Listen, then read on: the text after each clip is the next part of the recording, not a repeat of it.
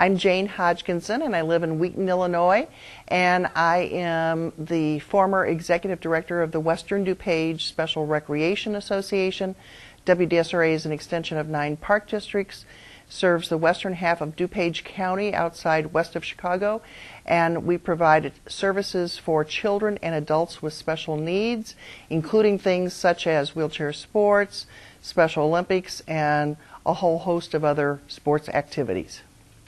Today I was talking with the committee that is working with the IHSA on developing uh, guidelines for uh, programs that might serve students with special needs, and we were discussing some various uh, issues, uh, including how many students in a high school population are likely to be uh, involved with a special need or have a special need.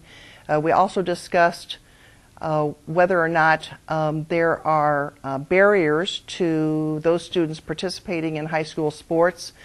some of the barriers that I mentioned is that there is a myth about uh, whether or not these students pose more of a liability.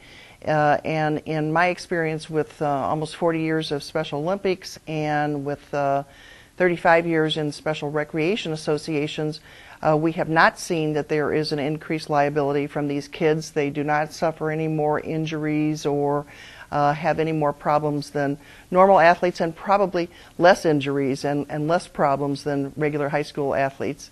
Uh, also, we discussed um, the possibility that one of the barriers that high schools might face, truthfully, is the accessibility of their facilities. So, whether or not their facilities, their gymnasiums, their swimming pools, their tennis courts are in uh, accessible locations that don't have steps or doorways that are too narrow or uh, other barriers of no way to get into the swimming pool other than uh, going down a walkway, um, whether those accessibility factors might be one of the barriers that they would face.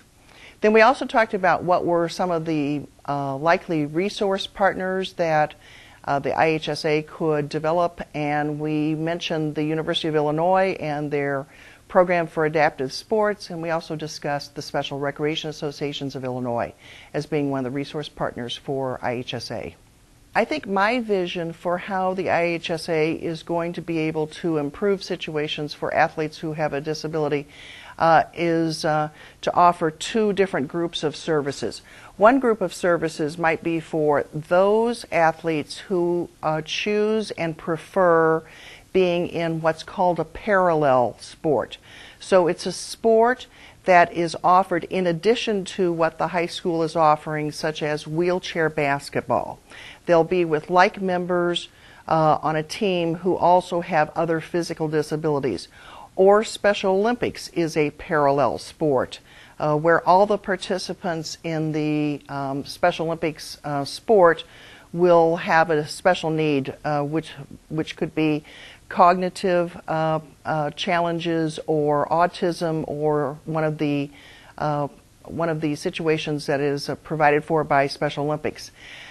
So the services that could be provided for those students who are pursuing the parallel course might be um, providing them with a place to practice, uh, making sure that um, school social workers or physical therapists can make referrals to the program, uh, providing a budget so that uh, there could be a coach for the uh, for the activity, whether it's a Special Olympics coach or a wheelchair basketball coach, um, or in the case of wheelchair basketball, because it's not likely that wheelchair athletes could all come from one school just because of the lack of kids in one given school population. What's more likely to happen is that high schools that are within a certain conference or a certain region could band together to try to create a wheelchair basketball team. So by that I mean um, uh, the situation that we have at Western DuPage Special Recreation Association, and our wheelchair basketball teams have been state champions. I think they just won their seventh victory. Um, in in my area in DuPage County, we serve about 10 or 11 high schools. We've never had more than two athletes come from one individual high school But what we've been able to do is to blend all of the athletes that we have from various high schools so that we're able to field a team. So, in a team type of activity such as wheelchair sports, we'd be able, um, I think IHSA could encourage high schools to band together in a region or a conference or something like that to provide that and, and pitch in the financial support to pay for the coach or, or whatever would be needed. Now the, now the second types of services I talked about would be for those students who want to be included in the high school team um, they want to participate with their non disabled peers in high school sports. So that might be golf or swimming or some sport where a person might have a physical challenge, even a cognitive, even a, a, a autism, high level autism. So they might be able to participate in the sport, but they might need support. So they might need uh, some kind of accommodation made for them. And that accommodation could be uh, in a track and field meet, uh, running with another sighted runner for a person who's visually impaired.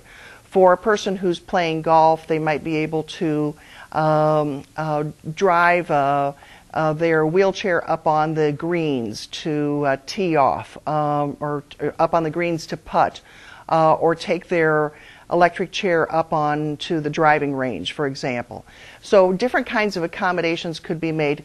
Um, some of those accommodations, and probably most, would not cost a great deal of money.